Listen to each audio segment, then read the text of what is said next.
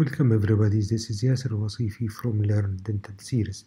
In this episode, we will start our discussion about purchasing dental practice and how to set up your dental practice. I would like to declare that I have no financial disclosure or conflicts of interest with any of the presented materials. Also, I would like to remind you that this presentation is copyright protected and could not be transmitted by any means unless you get a prior permission from the author. By the end of this presentation, you are expected to be able to take the decision of owning a practice or not, setting up a private dental practice from scratch, find out what being my own boss will be like. Let us start with part one, which will ask you different questions to decide that do you really want to own a practice or not. Not dentist wants to work in a practice, let alone own one. But if your ambition is to be your own boss, you need to have some idea of what you are letting yourself in for. Buying or setting up a practice is a major personal, professional, and serious financial commitment. You should know this and you should consider this. The first thing we want to do is set out some of the thoughts that lie behind the purchase of setting up or setting up of a practice, the starting point from which you can navigate your personal pathway through what can be a minefield. This section will throw lots of questions at you and hopefully provide some answers for your suitability for purchasing a private practice.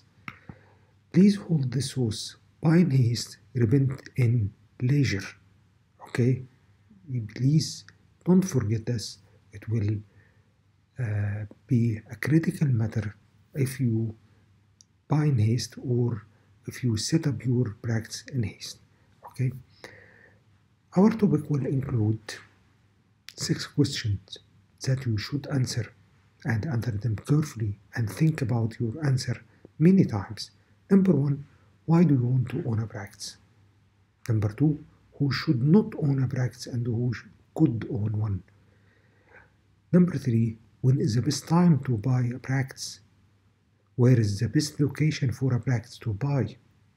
And what sort of practice will be looking for, you will be looking for? And finally, how to write your first business plan. Let us start with why do you want to own a practice? Most of us think that it is some sort of investment, okay, and you will benefit from owning your practice. The move from associate to a practice owner means more responsibility. You should know that and you should consider it. Becoming a business owner will take over your life because it is considered as a lifetime commitment, the same as Catholic wedding. Okay, that's why some dentists see buying a practice can be an investment opportunity, something they can sell and make a profit on, or as an investment when they get older. For most people, owning a practice is simply a way of earning more money. But let us discuss what is the benefits to be a practice owner and practice ownership. Number one, you might have more control over what you do and how you do. But this is not always the case because there is a controlling organizations in every country that controls what had been what should be done in dental practice. There is a great sense of self determination. This is the most important advantage. You hope you are going to be able to take practice in a direction you want, not by order by your boss in governmental uh, hospitals or if you are uh, just um, a specialist in other practices. Okay, you feel self determination you feel more independent and relatively free from the authority of others.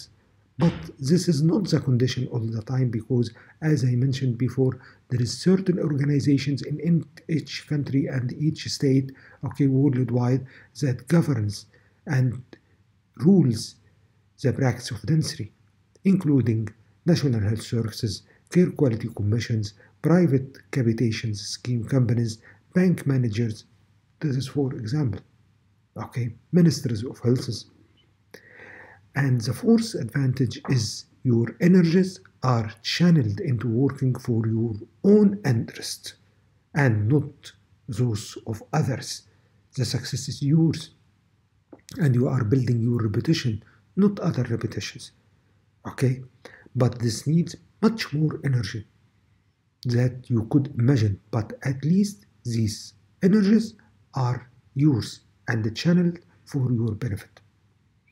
But also you could you should consider the drawbacks or disadvantages of practice ownership. Number one, the financial risk with your money and with your people, those people including firstly your family. Okay, you may put your family in a future financial risk. That's why uh, you should discuss the ownership of a practice before you go for this step with your family, and you should have family support for this. Okay, you may have to work very long hours, especially in the early uh, time you are setting up your practice. Okay, not only in surgery but also in managing your business in order to, to earn the money you hope, you hope to have. Number three, it's your sole responsibility for success or failure. It's yours.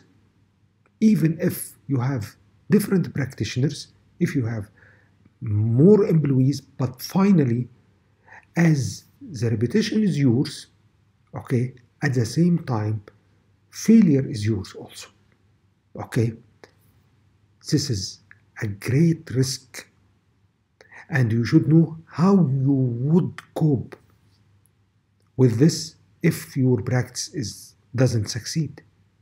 Okay, even if you employ others to carry out these tasks, including practice manager, including uh, public relation manager, financial manager, but finally, ultimate responsibility for finance, marketing, and personnel is yours. You probably want to enjoy the financial security, especially at uh, the early days of setting up uh, your practice. Okay, that's why you may need to have two more time, much more time uh, until your practice grow up and be on the road. Okay, that's why who could own practice and who shouldn't own a practice. But shouldn't own a practice it is not obsolete. Okay, it's a matter of time and the training, train and the train and the train. Ask and listen to other advices until you become ready and suitable and have all the experience to own a practice. But when you take a decision, please, before this decision, think about 15 questions and their answer because practice ownership is not for faint hearted, it's a great responsibility.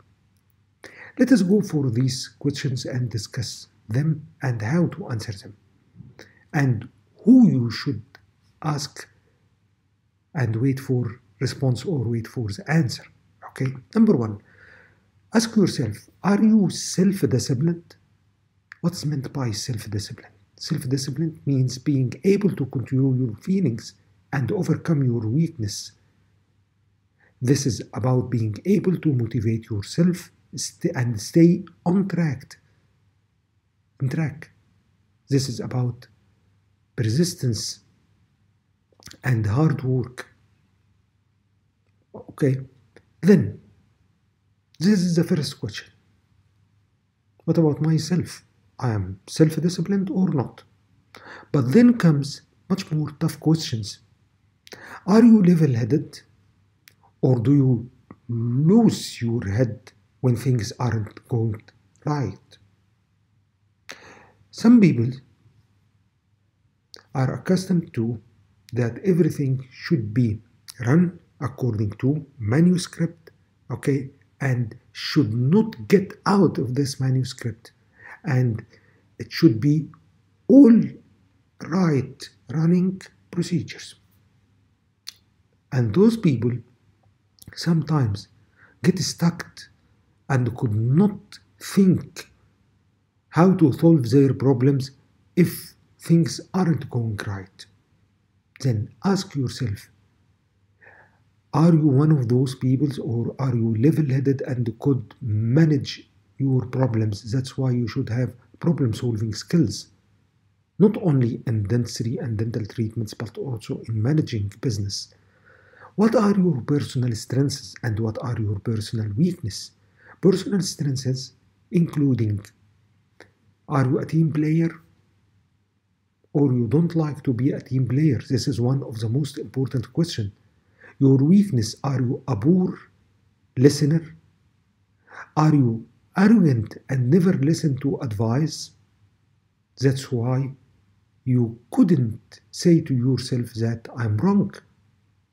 If you didn't define your weakness, if you are arrogant and don't say that you have mistakes, then you couldn't correct and solve your problems. Finally, let us go for wider context. You should stand, start to think about much more major and important questions. Can you identify any opportunity that might give you an edge over the competition? That means that do you have additional clinical skills over and above those of other dentists in the area you will own a practice what new experience, what distinguishes you from other dentists in this area, what skills you have, what is the advantage of your practice and your dental health service that you will submit to the community and the population. That should, this should be considered. Are there any serious threats that could seriously jeopardize your hopes and aspiration? What's meant by this? Okay, I have leases, I have loans, I have uh, any payments, daily payments or bills, uh, sorry, uh, monthly payments or bills, okay, or I have any disabilities, I have uh, uh, family problems, all of these could you jeopardize my hope, okay? Or I am still, even I am still enrolled in any postgraduate uh, program that requires from me to be full time committed to it.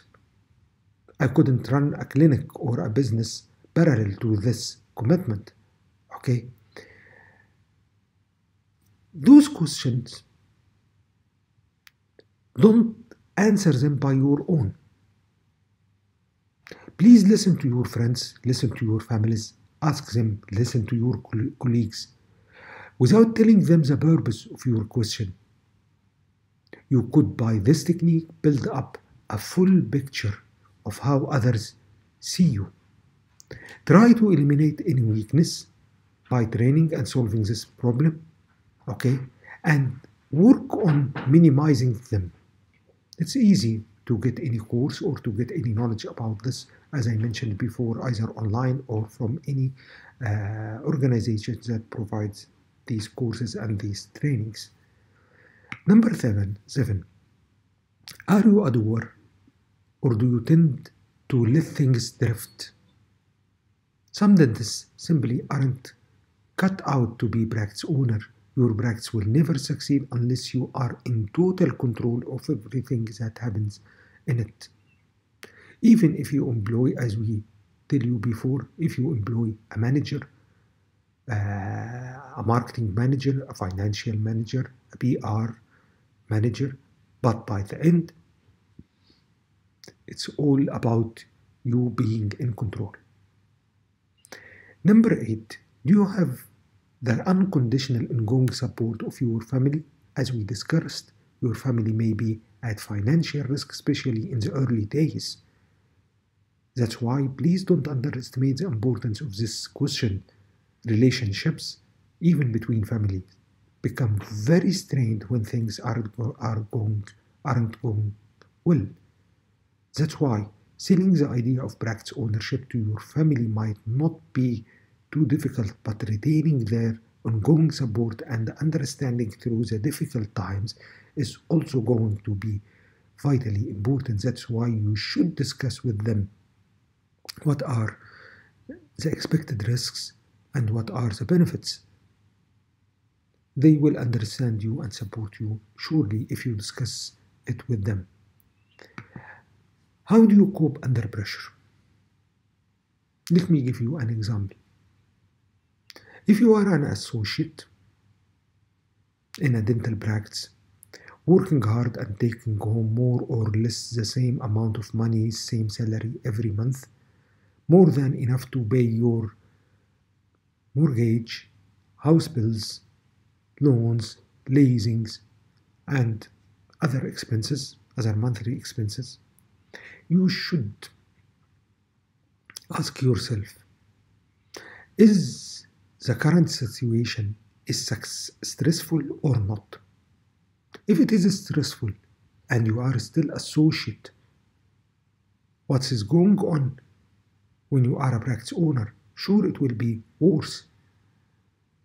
That's why, if it is not stressful, you should know if you will be able to cope with the pressure expected of running your own show and practice or not. But if you start with a stressful condition when you are associate, okay, what is the condition when you are the owner? By all means, to be a, an owner of a practice, dental practice, it's a stressful condition. That's why if you are originally at a stressful condition, then don't start or don't think to own a practice unless you correct this condition by a mean or another. Then, would you be prepared to work seven days a week? Sometimes it is necessary to work 24 7. Long hours, not only in surgeries, not only in treatment of patients.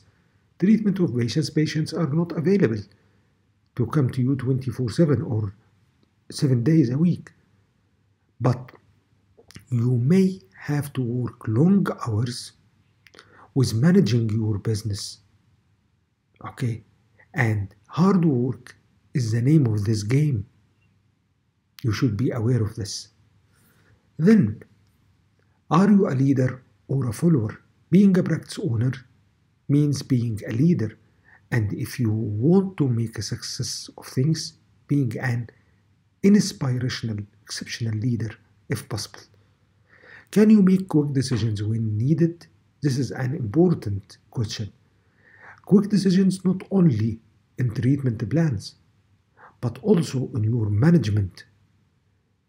It should be a quick decision and at the same time, right decision. That's why you should have problem solving skills and you should be trained to do this. Then coming, are you a sticker or a quitter? What is meant by that? Ownership can be a lonely place when things get tough. Will you be prepared to see it through and you are you prepared to see the truth? Owning a practice is going to be a bumpy ride while you be all for handling the keys back the first time something goes wrong. You should quit at this time. You should be brave enough to say to yourself, This is not suitable for me and I should quit now, otherwise, the condition will get worse and worse. Then, can you learn from mistakes and take advice? This is what related to what we asked you about your weakness. Are you a poor listener? This is fundamental whether or whether or not the practice is going to succeed or fail. There is no successful practice without mistakes, but the trick is to learn from your mistakes.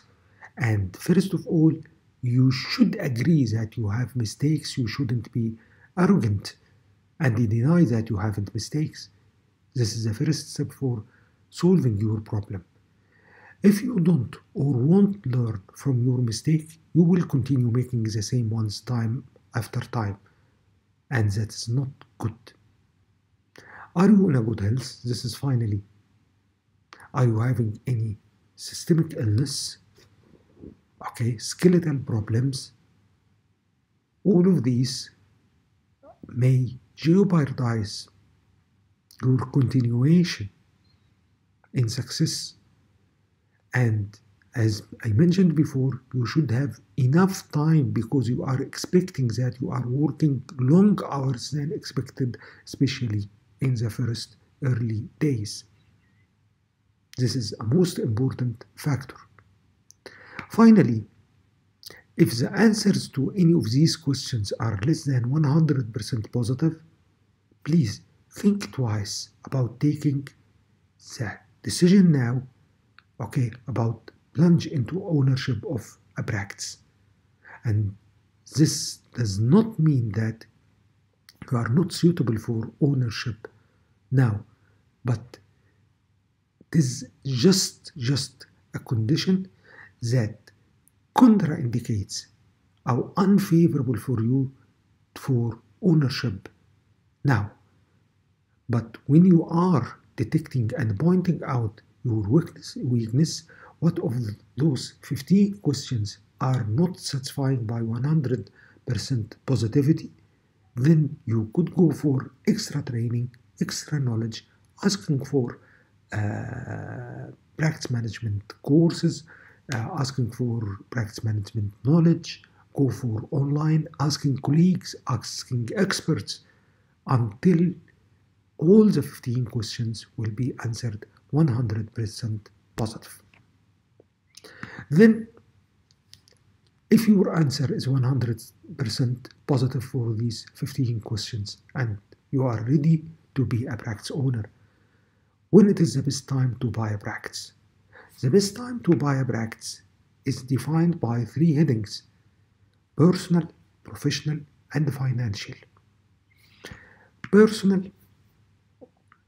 common sense should tell you that if your personal life is in turmoil, now is not the best time to start thinking about buying a practice. You should have all your mind, all your heart focusing on setting up your practicing and starting your early days, okay, to raise it up and design your success map. That's why you should personally, your life should be clear without any problems, okay? That's why you wouldn't think of setting sail in a storm, okay? Instead of setting up your uh, practice while all the condition and all the environment and all the climate is clear and suitable for you.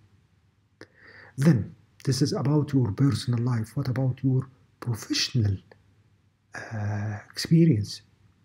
Professionally, you need to have enough clinical experience under your belt.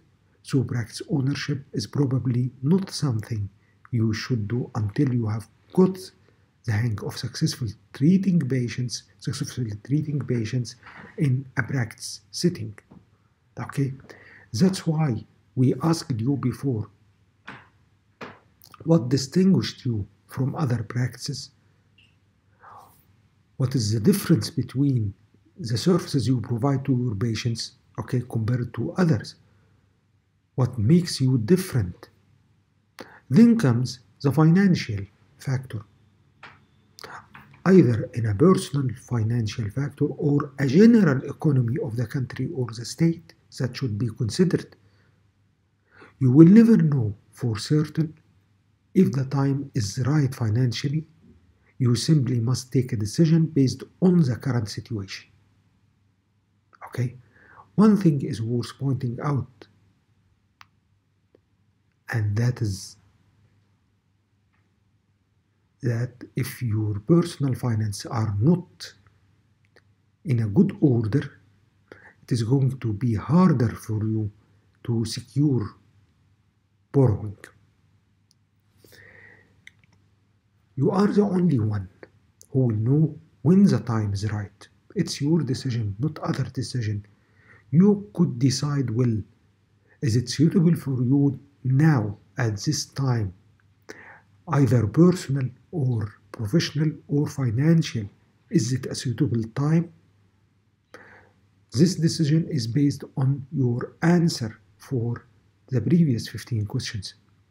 You would not even think about owning a practice unless all the three mentioned factors are favorable. Then,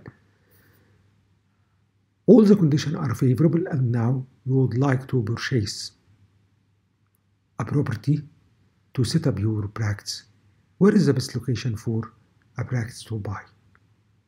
Regardless the sort of your practice, your location should be with distinctive marketing specifications, which includes easily located and reached, with the least traffic jams, available car parking area away from commercial noises, but what is most important, you should be near to hospital-based practices for any emergency. Again, location should be with the distinctive marketing specification. What sort of practice will you be looking for? Because this determines the assets, equipment, furniture, uh, working hours, employees, how to set up all of these according to the sort of practice. Either the sort of practice be a national health service or a private or mixed general or specialist one. Okay? Every type of practice having its own opportunities and its own threats. National Health Service means that you are contracting with a National Health Service to provide uh, dental health care for a population in a certain area or a certain city.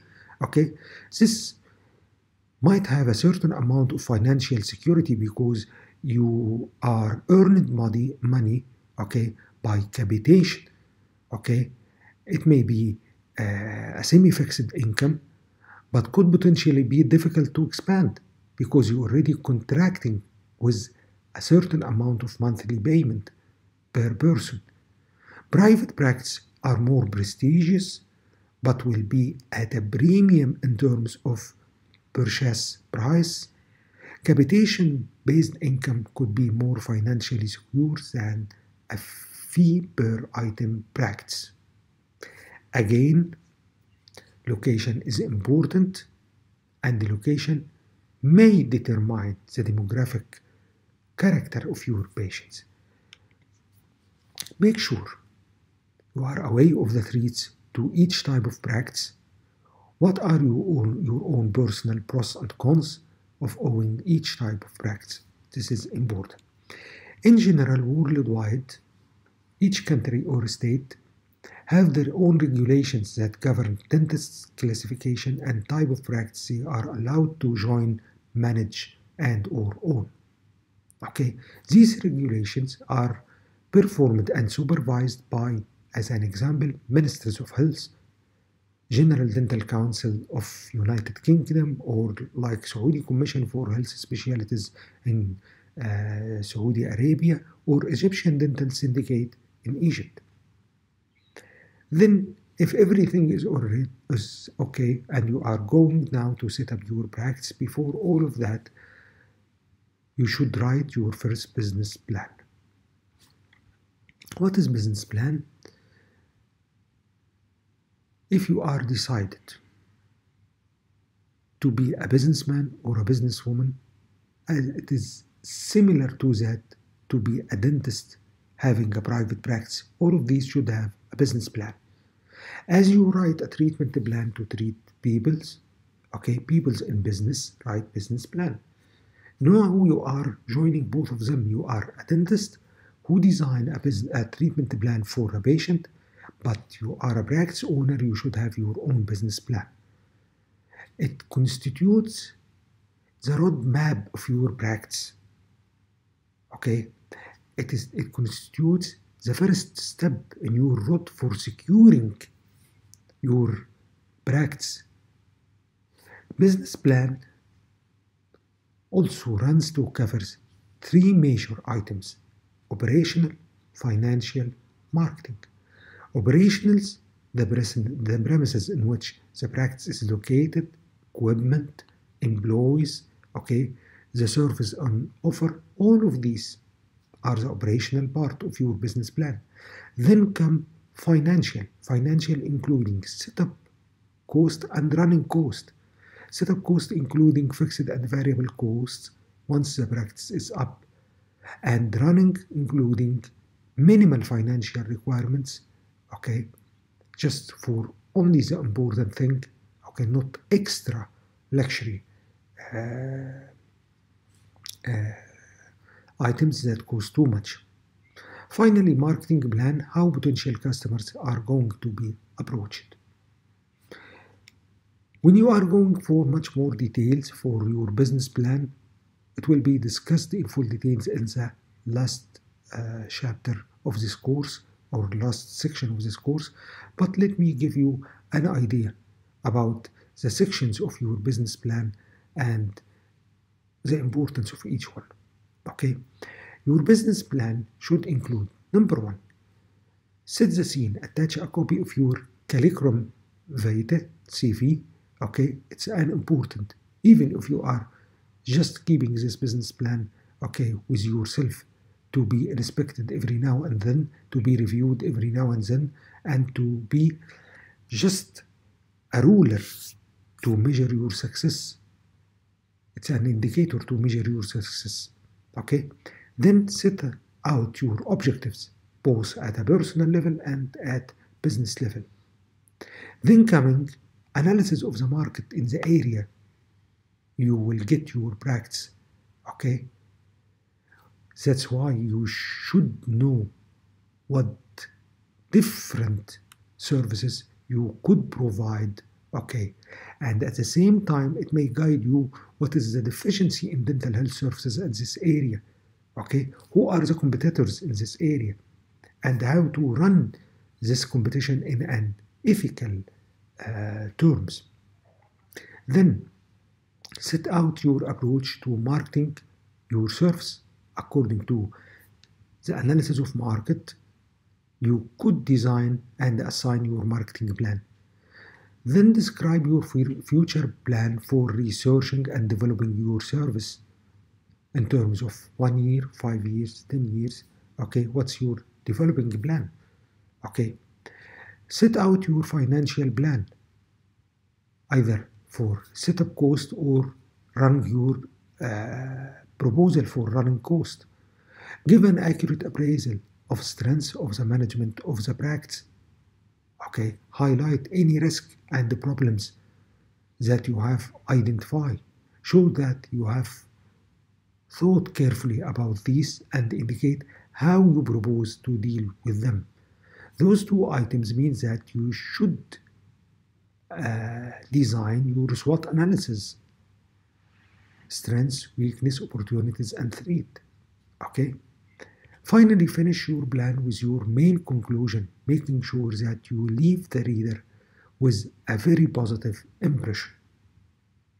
Your plan should include an executive summary, which, although also mentioned last, actually appears at the beginning. Your summary is prepared and written the last item of your business plan, but when you presented it and editing it, it should be at first. Okay? It is a complete overview or overall summary of every part of the plan. What is the importance of number 9 and number 10? You may present your business plan to get a license from any of the organizations we mentioned before, or you may submit it to, for financiers to fund you if you don't have enough fund for setting up your practice. You may also submit it when you would like to contract with any national health service provider.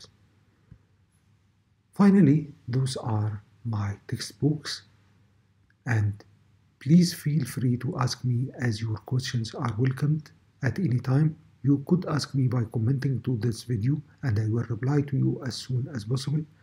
Please don't forget to like this video, subscribe to my channel and update and not uh, activate the notification to receive all the updates. Finally, I would like to thank you for assigning this time to listen to me. Until we meet again, thank you. Yasser Wasif.